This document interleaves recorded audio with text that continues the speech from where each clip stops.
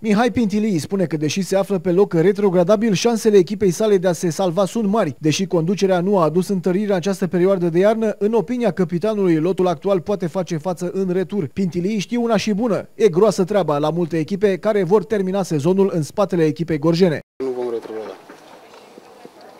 Asta e părerea mea. Acum lăsăm lucrurile de la sine să vină. Eu așa cred după mine, că avem un lot destul de mult ca să nu... Sunt echipe mult mai slabe care pot retrograda. Atunci e groasă și la ei. La multe echipe e groasă. La, de la locul nou jos la toate groase.